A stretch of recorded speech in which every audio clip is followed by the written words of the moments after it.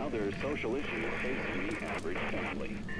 As the congressional debate over gun control flares up yet again, we regret to report the murder of a wife and her two children by their husband and father.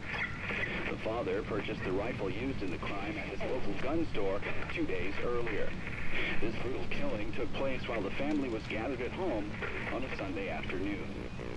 Don't touch that dial now. We're just getting started. Retrieved the rifle and shot his wife as she was cleaning up the kitchen. You can't trust the tap water. The son came to investigate the commotion, the father shot him too.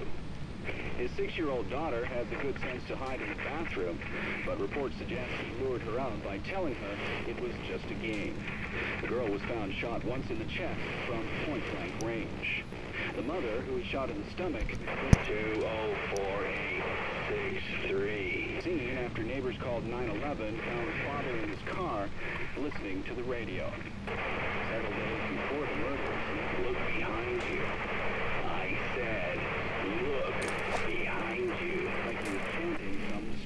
spell.